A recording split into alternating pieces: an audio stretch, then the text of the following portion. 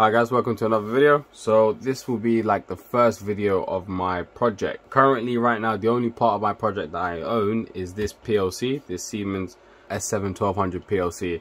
And what I've done is I've just connected it to a push button at, its digital input and I've got a fan at its digital output and then I'm just going to be switching that on and off. So if I push down the push button, it starts the fan and as you can see over here I've got my ladder logic here so that when I push the push button it starts a coil which is basically just to send an output. Turns on the relay which you can hear clicking there. And that starts that fan so I've got five programs here for you. I'll just quickly run through the five programs. So first program here is just take an input of a button and then turn on a fan. So let's jump to program number two which is to take the input of the button and then start a timer and then the fan. Although this works, this does work a little bit differently to how you might think. Alright, so for the second program, if I turn on this button, it's going to activate this timer. So what's going to happen here, I'll just, just explain to you first. I press this button, so my PLC receives a digital input, and then it activates the fan and starts a timer for 5 seconds so even if I release the button, the fan will run for 5 seconds. So I'm just going to tap the button, press it once, and now the fan is running for 5 seconds. And if you can see here, that 5 second timer increments, and then it turns off. So the fan has stopped now. Press the button again. So you can obviously see how that could be used in industry, you know. I don't know. You enter enter a toilet which you know triggers the light to turn on. Once the light turns on, it starts a timer and then runs the um, extractor fan in the toilet for five minutes and then that turns off. So instead of five seconds you make that five minutes. And all of that is done all of that is done literally just with this one bit of just what literally one rung of ladder logic here which if you don't know what ladder, ladder logic is it's a programming language which most PLCs use basically. So next up for program 3 what I've got is I've got that same button plus that same 5 second timer and the fan turning on. But I've got a count up block here which is basically going to count to 5 so if I press the button once you can see there that button turns on there but the fan's not turning on. If I press it again you can see here nothing's happening. And you can see there's a number above there which says 2 and that's counting. So currently at 4 if I press it one more time the fan will turn on for five seconds run the fan for five sorry the timer will turn on for five seconds run that and keep that fan uh, output active for five seconds and then turn off. And then here nicely done I've got that fan output. So when that fan turns on it resets my counter. So now press it one more time. Boom fan turns on. And it turns off I don't really want to use a toilet analogy but, you gets a bit gross. but what you could do is you could say run the extractor fan for five minutes only after five people have used the toilet instead of one. yeah, I'd like to leave the toilet analogy. So three, four, five, fan kicks on, and then boom, turns off again. So to program four, what I've actually got here now, the only difference, if you look, is that this here is changed. So this is called a normally open contact, which means that when I push that button, it closes and then it actives. This one counts the button as it's already pushed. And so when I'm pushing it, it's, it's flip logic, reverse logic. So this is a normally closed contact. And so when I press this, it will open. Alright, so I must admit that this is actually kind of a dumb program to write. I could have done this in a much better way. And in, actu in actuality, I will. But since I've got it on this sheet, I'll just stick to it for now. But I'll change it in a second. So if you look over here you can see that that button is now already closed even though I'm not pressing down the button so if I press it now you can see it turns off and then counts up again turns off counts up again turns off counts up again turns off and now you got the timer on so it's the, the logic of the button is flipped but let me just edit this program here quickly so if I remove this counter from here and remove this timer okay boom so I've deleted the timer. So now I've just got that button. So I've just got the button and the fan. And so the button is normally closed. So if I just download this again now I'm trying to keep these videos short because the longer the video it takes longer to edit. So you can see there now my program has loaded onto the PLC and now the fan's just running now because it's just detecting my button as being normally it's a normally closed input now. So when I press the button now the fan turns off and so you can see you know there is there's a lot of use cases for something like this whereby for example if I had a limit switch here and I had you know let's say I had a a press uh, I don't know I don't know a forging press if you know what that is. I don't know. Let's okay let's imagine this screw. If I've got a drill in and then when it reaches I want it I'll have it doing screwing down something let's say I've got a screw in this and then it pulls it back up to go back up to the start.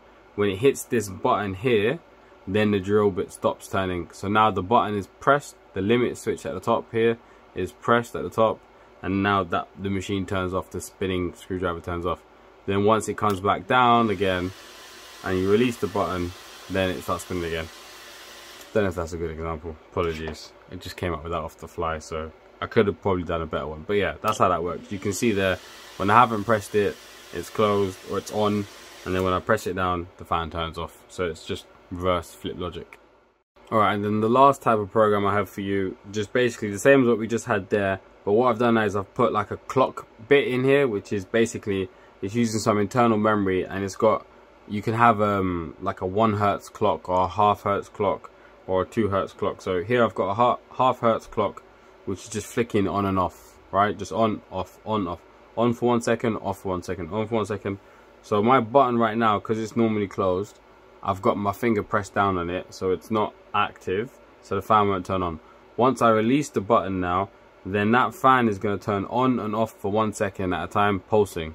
And so not really ideal because this particular CPU is a relay output so you wouldn't really pulse with relays like you're going to hear it clicking a bunch. But anyways you see how this works? So I release it.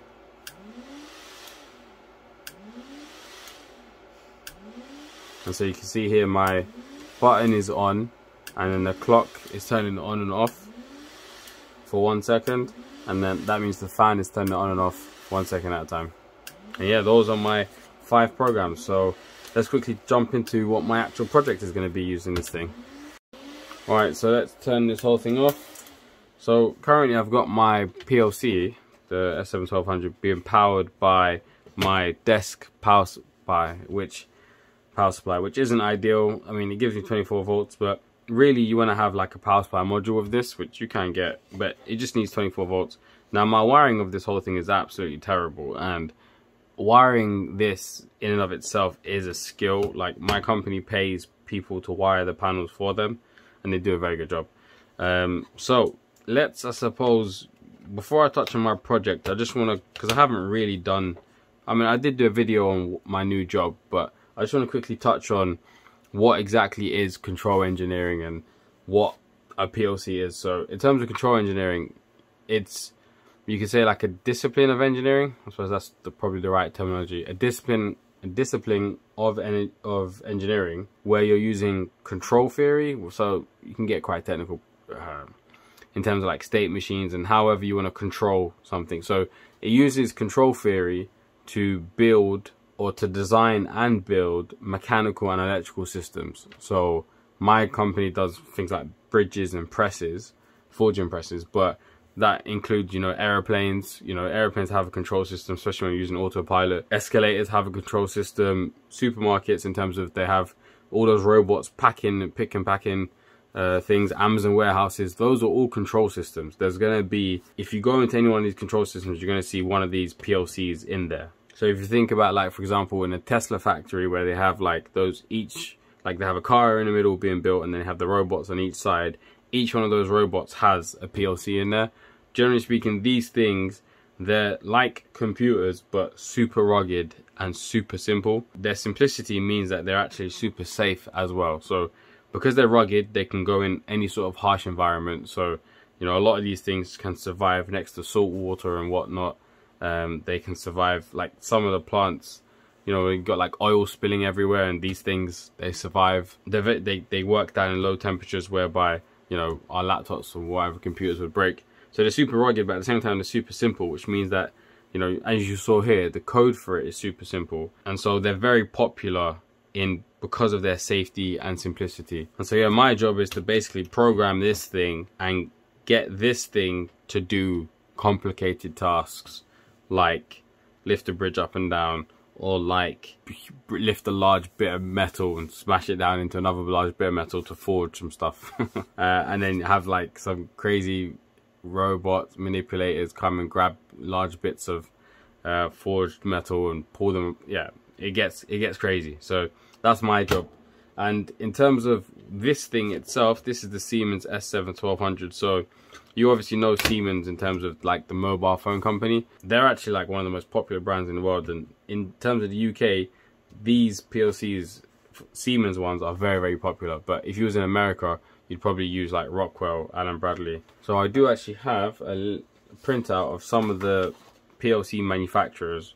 So you got Siemens, Omron, Mitsubishi, Toshiba, uh, Honeywell, Panasonic, Hitachi, Schneider Electronics, Toshiba, obviously Delta, Allen Bradley. So some of these you may recognize, some not. Basically, the way that I kind of see these things is that these machines are controlling, you know, like for example, my company has a has a forging press which makes helicopter blades, and so those helicopter blades, each one of them is like 400 grand, right?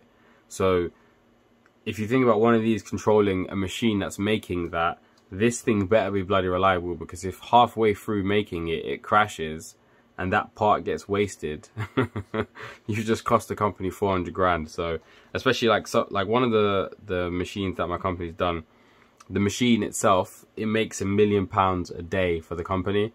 And so if this thing fails, that business is losing a million pounds a day. So these things need to be super, super rugged. And so the way that I see it is you need big companies to be able to develop these to make sure that these are super good. So hence you have a lot of, you know, Bosch and whatnot, large companies making these. So in terms of this specific model, which is the S7 1200, I, I went with it because it was cheap, 150 pounds. Here in the UK, Siemens are going to, are the most popular brand for PLCs, and my company pretty much they do use some Allen Bradley stuff, but almost specifically they they use Siemens. So I figured it makes sense in terms of my for me to get good at this to use Siemens, even though I could have got potentially cheaper and better PLC. So, but so in terms of this PLC specifically, what you have on it, so it will tell you, for example, bring you closer. It'll tell you here that you got a, this is so this is that the CPU unit. So you got a P, programmable programmable logic controller, and this CPU here is a 1212 a 1211C. I said 1212 because in university I used the 1212 and it's DC DC relay so that means that DC its input is DC so it takes 24 volts in here. And then its output I believe that's output is DC and it's relay triggered so it's got relays clicking on and off which you can hear. And so if you want we can actually have a bit of a look inside. If I can get this open where's that screw where's that screwdriver I had? There we go. It's an ESD sensitive but you can see there's a chip under there you have a look in there like it's quite open considering it's um see a bunch of capacitors in there. Yeah this is the big chunky CPU unit. And then what you do with this so this has um you can see here it's got 24 volts so inputs so it takes inputs. It's got 0 0.0 0.1 2 3 4 5 so this has got six DC inputs here and it have any more. Okay then it's got two analog inputs. So this here I can put in two analog inputs six digital inputs and then it can put out I believe four. Yeah four digital outputs. So this machine here although it's a CPU it can also it also acts as a bit of an IO module an input output module. But what you do with this is you actually attach modules to the right of it and to the left of it as well. So it's got these uh, connections here. So what you do is you can attach communication modules onto the left here, um, like for attaching like screens and whatnot. And then also onto the right here. Wait, what? Somehow on the right. I'm sure. Okay. Well, as far as I know, you can add uh, modules onto the right here. I'm not sure. You must have to wire them in somewhere. I thought they connected into the base here. But I've got a picture of it here. I'll show you. So there you can see, so this is the CPU module, and you've got communication modules on the left, and that's the power supply unit, and then on the right of it you add input and output modules. So where we only have for example two analog inputs then you could expand that you know by adding another eight right? And same with digital as well. So that's how you would have a bigger system. The thing is each one of these i'm going i'm intending on buying all of these but each one of these costs a lot of money. So this the digital input and output module is like 150 quid analog as well is like 150 200 quid this communication module is like 100 quid or 80 quid power supply module is probably the cheapest, like 40, 50 quid.